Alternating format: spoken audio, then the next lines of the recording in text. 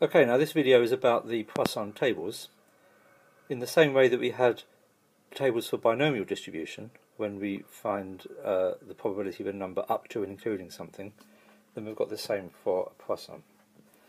So notice that we've got uh, different values of lambda here, but not every value of lambda goes up in multiples of 0.5.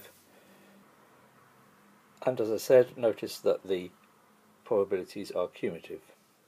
So let's do an example. Uh, suppose we've got a Poisson distribution with parameter 6.5, so something is occurring at a rate of 6.5, and we want the probability that 4 is less than x and x is smaller than or equal to 7. In other words, uh, x is between 4 and 7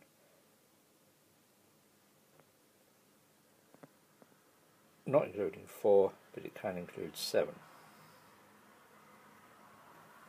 So what we're saying is we want x to be bigger than 4, smaller than or equal to 7, so it's basically the numbers 5, 6 or 7. So the probability that x is between 4 and 7, that's the probability that x is smaller than or equal to 7, minus the probability that x is smaller than or equal to 4.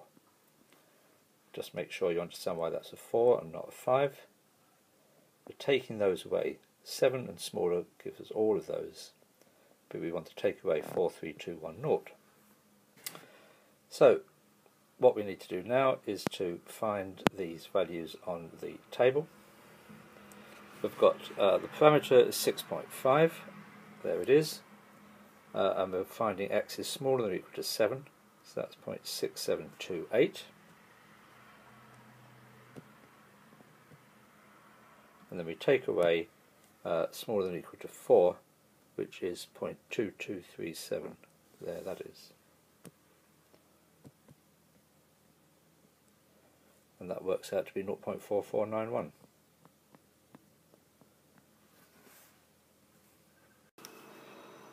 Okay, let's look at another example. There is a pneumatic drill just outside the house at the moment, so uh, I hope you can hear me okay. And here we've got uh, asteroid impact. So the frequency is in proportion, oh sorry, decreases in proportion to the cube of the diameter. With asteroids one kilometre or more striking the Earth every 500,000 years on average. What's the probability that the Earth is struck by at least three asteroids of radius 10 kilometres in the next decade?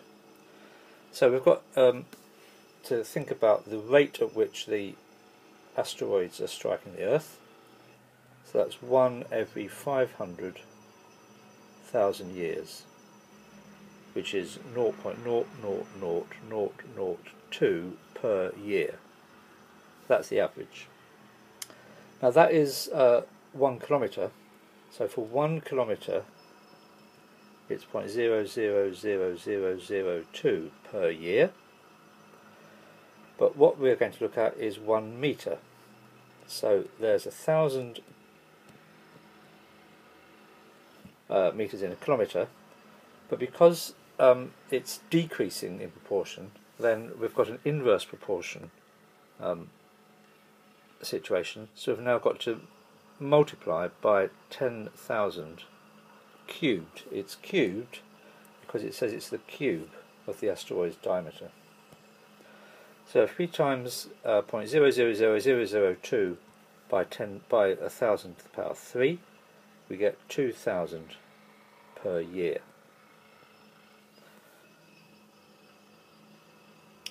Now let's think about a radius of 10 kilometres. So it says it's got a radius of 10 kilometres, uh, and this is radius, but these other um, uh, measures are diameter.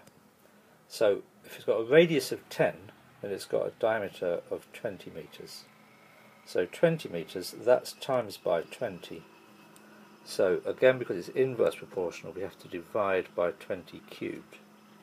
So 20 cubed, um, that's 8,000. 2,000 divided by 8,000, that's a quarter, so that's 0.25 per year. Uh, but they're asking about um, the next decade, which is 10 years. So in 10 years, we'd expect two, 0.25 times 10, we'd expect 2.5 strikes. So the distribution is a Poisson distribution with parameter 2.5 and we want to find the probability that x is greater than or equal to 3. Now the probability that x is greater than or equal to 3 is 1 minus the probability that x is less than or equal to 2. And we can look that up in the tables. So we've got uh, parameter 2.5, less than or equal to 2 is 0.5438. So what we've got is the probability is 1 minus 0.5438 which is 0.4562 to four uh, decimal places.